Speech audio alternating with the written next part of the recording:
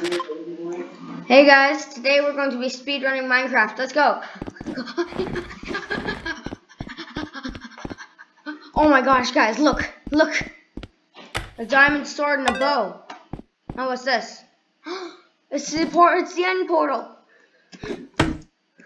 Oh my gosh, guys, look, look at it, look. Oh no.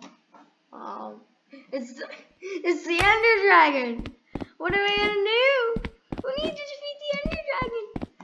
But luckily the world broke and um oh my gosh guys Ender Miss Ender Dragon just gave us creative smack smack smack.